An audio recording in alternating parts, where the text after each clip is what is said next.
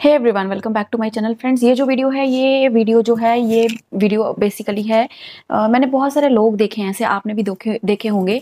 Normally ladies को मैंने देखा है साड़ी पहनती हैं या जब कोई नेक uh, ऐसे कोई डिज़ाइन पहनती हैं। उनकी नेक बहुत ज़्यादा काली होती है यार है ना? आपने नोट किया है? फेस डिफरेंट होगा नेक डिफरेंट होगी आर्म्स डिफरेंट होंगी। तो ये जो ब्लैक कलर की नेक है इसको किस तरह से ठीक किया जाए? अगर आपको हो गई है ब्लैक कलर नेक आपका हो गया है बड़ी सारी रीजंस की वजह से धूप की वजह से हार्मोनल चेंज या बड़ा सारा कुछ ठीक है? तो ये जो ब्लैक कलर की नेक है, इसकी ये जो ब्लैकनेस है, इसको आप किस तरह से ठीक करें?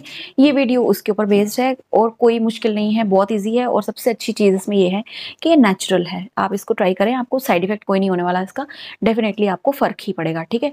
तो फ्रेंड्स स्टार्ट करते हैं वीडियो के साथ, पर वीडियो स्टार्ट करने से पहले आपको करने में दो काम, ठीक है? एक करना है आपको मेरे चैनल को सब्सक्राइब एक करना है आपको मेरी वीडियो को लाइक ठीक है? ताकि जब भी कभी मैं वीडियो डालूँ, कोई आपको नोटिफिकेशन आ जाए, ठीक है? अगर आपने वीडियो को चैनल को सब्सक्राइब किया होगा और आगे एक बेल आइकन है उसको भी आपको हिट करना है, ठीक है? उससे आपको नोटिफिकेशन आएगा। तो चलिए स्टार्ट करते हैं वीडियो के साथ।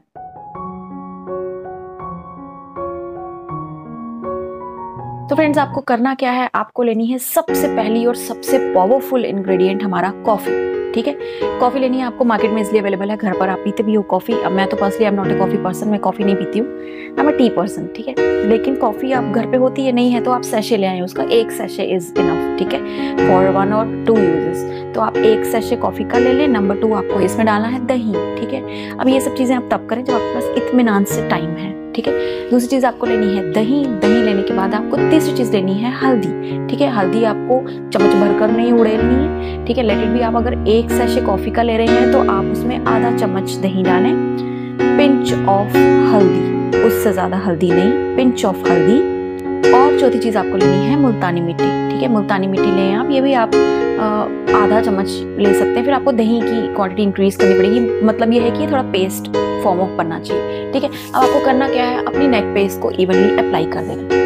गर्दन पे इसको लगा देना है डाउनवर्ड्स मोशन में। ठीक है, पूरा यहाँ से लगाएँ, यहाँ से करके पूरा आप इसको गर्दन पे लगा दें। फिर उसके बाद आप इसको थोड़ा सा सूखने दें। जब भी आप 50 परसेंट ड्राई हो जाए मतलब कि सेमी ड्राई अभी हो चुका है, फिर आपको इसको सर्कुलर मोशंस में करके उतारना है। ठीक है, आपको उसको बाथरूम में उतारे वॉश बेसिन के ऊपर ठीक है? सर्कुलर मोशन पे आपको उसको उतारना है, या आप ये नहाने से पहले भी कर सकते हो। सर्कुलर मोशन पे आप इसको उतारेंगे, ठीक है? एंड उसके बाद आप अपनी गर्दन को धो लें अच्छे से नॉर्मल वाटर से, गर्म पानी नहीं, ज़्यादा ठंडा पानी नहीं, ठीक है? और मैं यही सजेस्ट करूँगी कि अभी आप साबुन वाबुन मत लगाओ कुछ, ठीक है? ज़रूरत नहीं है। Next day you can go आप रोज़ रोज़ तो करोगे नहीं ये रेमेडी है ना? तो मैं आपको ये सजेस्ट करती हूँ कि रेमेडी आप तीन दिन में एक बार कर सकते हैं मतलब हफ़्ते में आप दो बार कर लो, बहुत है। पर फिर लगातार करते रहो इसको एक महीने, दो महीने। तो आपकी जो नेक है, सबसे पहली चीज़ क्या होगी, इससे डेड स्किन आपकी उतरेगी। जो भी डेड स्किन जम गई है ऊपर, वो उतरेगी। डेड स्किन नंबर टू ये है इसमें कि मुल्तानी मिट्टी जो है और दही, आपको पता है स्किन ब्राइट करते हैं। मुल्तानी मिट्टी ऑयल सिक्रेशन कम करती है, आपको पता है। ठीक है, जो एक्स्ट्रा ऑयल प्रोड्यूस हो रहा है। और इसके अलावा हमने क्या डाला था? सबसे पहले क्या डाला था हमने? कॉफ़ी, ठीक है?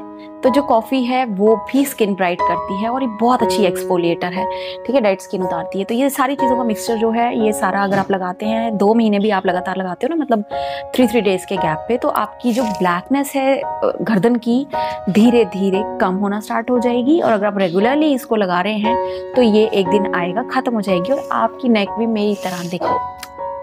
कितनी सही हो जाएगी, ठीक है फ्रेंड्स तो वीडियो अच्छी लगी है, अगर तो रेमेडी ज़रूर ट्राई करें। और दो काम जो स्टार्टिंग में बोले थे चैनल को सब्सक्राइब वीडियो को लाइक तो मिलते हैं नेक्स्ट वीडियो पे, तब तक के लिए बाय एवरीवन